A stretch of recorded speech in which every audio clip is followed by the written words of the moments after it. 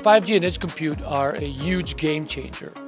The reason we did this uh, event with the ecosystem is not just to imagine the future, but together to build the future.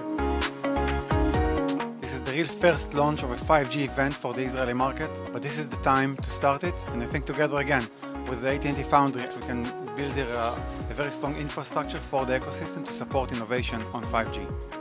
We did this event because we want to bring more early adopters so we can build those use cases and reimagine with them everything that edge compute has to offer.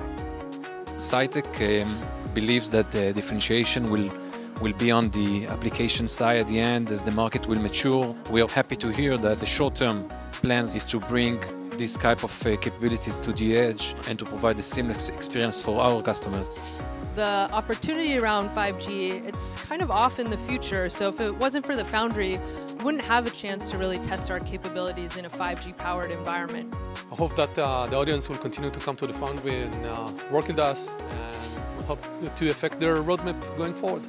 Really exciting that we're testing in the lab. I would love to see us use our technology on an actual test track. So we have a chance to uh, get some cars uh, next year, that would be amazing.